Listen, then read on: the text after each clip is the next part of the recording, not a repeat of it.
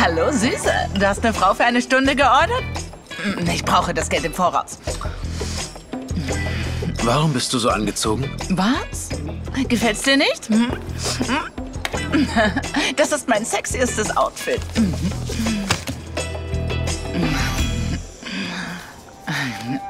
Sollst meine Frau spielen, nicht... Mich selbst? Okay, okay, ich bin deine Frau. Ich soll meinem Chef meine Frau vorstellen. Kein Escortmädchen. Dann solltest du heiraten, Dummkopf. Ähm, äh, ich verschwinde jetzt. Oh, verdammt. Mein Chef, warte, warte. Was soll ich denn jetzt machen? Oh, nun, diesen Schlamassel hast du dir selbst eingebrockt, mein Lieber. Ciao. Oh, verdammt, dieser Amerikaner. Ah.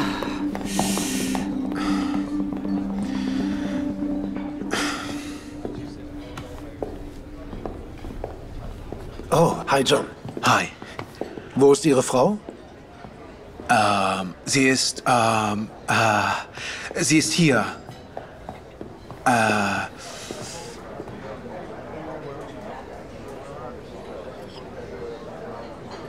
Oh, das ist meine Frau. Aha. Oh. Das ist meine Frau. Oh, freut mich, Sie kennenzulernen. Und das ist mein Boss. Ich habe dir ja schon viel von ihm erzählt. Entschuldigung, was geht hier vor? Nennen Sie mich Henry. Mom? Oh, Sie haben auch einen Sohn. Das haben Sie nie erwähnt. Hi, mein Name ist Henry. Überraschung. Okay, ich gehe mir die Hände waschen. Und dann komme ich wieder. Uh. Ja, Was zur Hölle soll das? Wer sind Sie? bitte, bitte helfen Sie mir. Ich habe meinem Boss gesagt, dass ich eine Familie habe, damit ich engagierter wirke. Ohne sie kann ich nicht befördert werden. Bitte, bitte. Wir werden da nicht mitspielen. Okay. Hey, Kleiner, äh, willst du, dass ich dir das allerköstlichste Dessert von der Karte bestelle? Kommen Sie schon. Ich bin 13. Sie müssen schon etwas mehr bieten. Okay. Wie wär's mit einem neuen iPhone? Klingt schon Ben. besser. Mom, ich habe dieses alte Teil seit fünf Jahren. Das ist doch ein gutes Geschäft, oder nicht? Das sehe ich auch so. Ein gutes Geschäft. Schlag ein. Gut. Ich bin John. Und Sie? Ich heiße Ben und sie heißt Christine. Christine. Das ist ein schöner Name.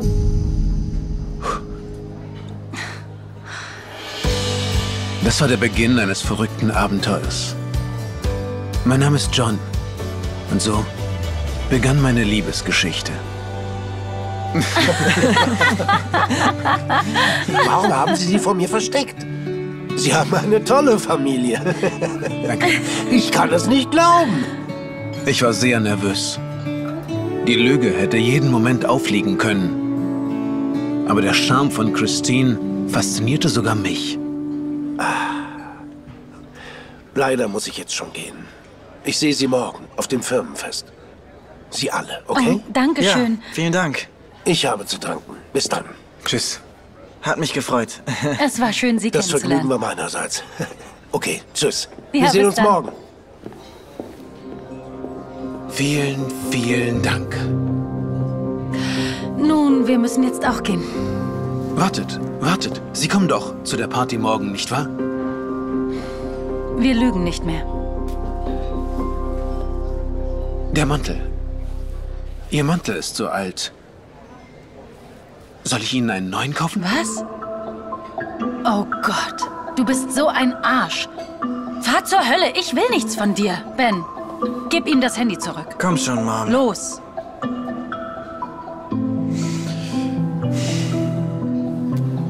Wenn du denkst, du kannst dir eine Familie kaufen, irrst du dich. Ich bin es so gewohnt. Ich bin es gewohnt, alles mit Geld zu bekommen. Tut mir leid. Ich möchte, dass Sie morgen mitkommen, weil ich in der letzten Stunde zum ersten Mal in meinem Leben das Gefühl hatte, nicht mehr einsam zu sein.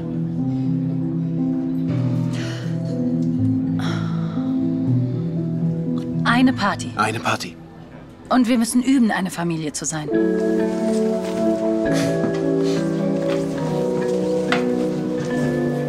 Wer wird uns schon glauben, dass wir zusammen sind, wenn du so still bist wie eine Maus?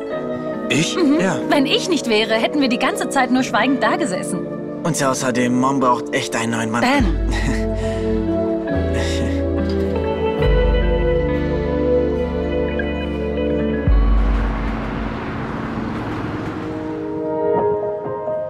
Während wir uns unsere Liebesgeschichte ausdachten, konnte ich meine Augen nicht von Christine lassen.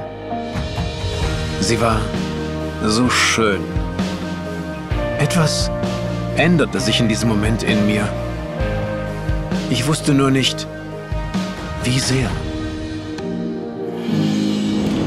Also gut, ich glaube, dass wir jetzt alles geklärt haben. gut. Ja. Ähm, Und vergiss die Regel nicht. Keine Küsse. Das ist aber schade. Wie bitte? Nichts, nichts. Bis dann. Tschüss. Bis morgen dann.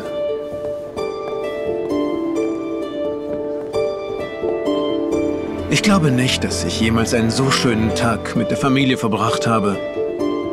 Nun, ich hatte ja nicht einmal eine Familie. Denn die Arbeit nahm all meine Zeit in Anspruch, 24-7. Also kam es mir nie in den Sinn, eine eigene Familie zu gründen. Bis jetzt.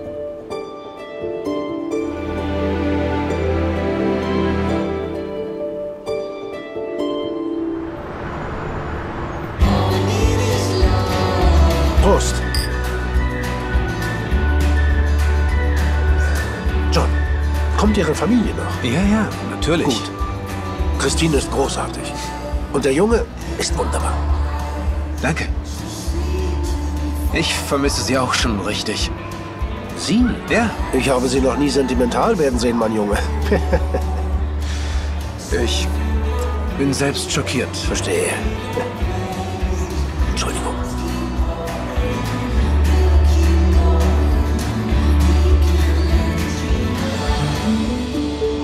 Und dann sah ich sie. Ich konnte die ganze Nacht nicht schlafen, weil ich nur daran dachte, Christine wieder zu treffen. Ich musste ständig an ihre schönen Augen denken, ihre süße Stimme und ihr ansteckendes Lachen. Ich konnte es kaum erwarten, sie wiederzusehen.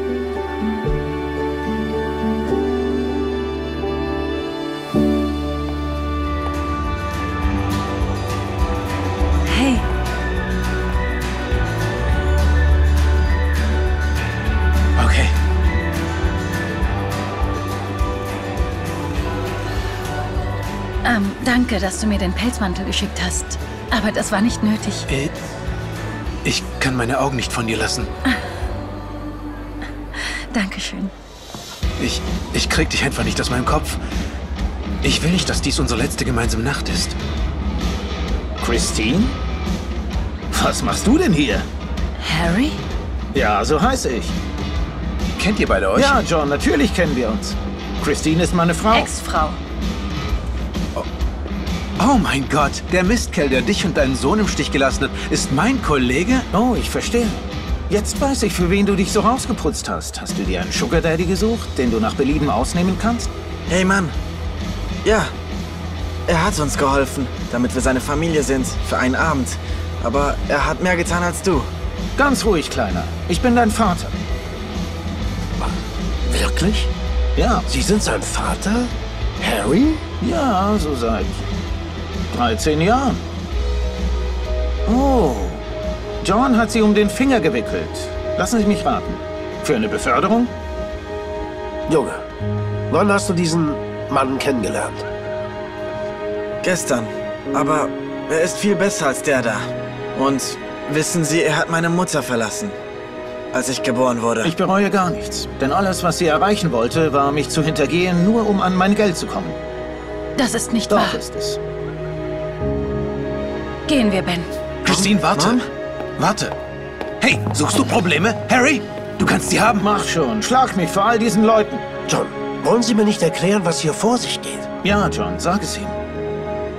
Es wird gesagt, dass die Wahrheit am Ende immer ans Licht kommt. Ich bin schuld an diesem Schlamassel.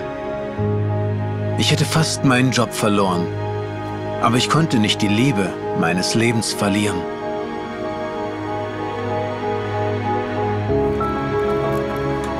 Christine, warte, warte!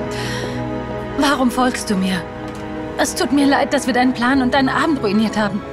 Jetzt musst du deinem Chef alles erklären, um deine Beförderung nicht zu verlieren. Zum Teufel mit der Arbeit. Es gibt wichtigere Dinge. Dich. Ich war mein ganzes Leben lang auf meine Karriere konzentriert und habe nie die Liebe gefunden. Das Schicksal hat uns zusammengebracht und ich möchte dich nicht verlieren. Aber wir haben uns kennengelernt, weil dir deine Arbeit so wichtig ist. Jetzt nicht mehr. Das wird jetzt in den Hintergrund rücken. Naja, also, wenn ich noch eine Arbeit habe. Weißt du, ich hatte Angst, es zu sagen, aber ich will dich auch nicht verlieren.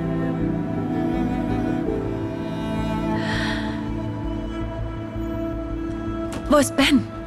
Ich bin hier. Wir sind hier. Es tut mir leid, dass ich gelogen habe. Holen Sie bitte morgen all Ihre Sachen aus Ihrem Büro. Ja. Ja, natürlich. Denn Sie werden ein größeres bekommen. Ich gebe Ihnen noch eine Chance.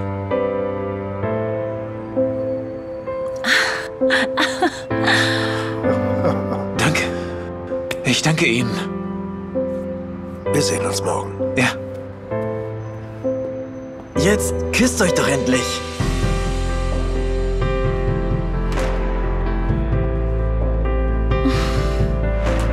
Und was ist jetzt mit der Nicht-Küssen-Regel?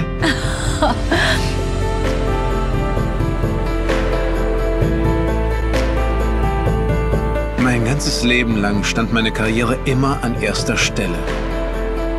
Bis zu dem Tag, als ich endlich die wahre Liebe erlebte.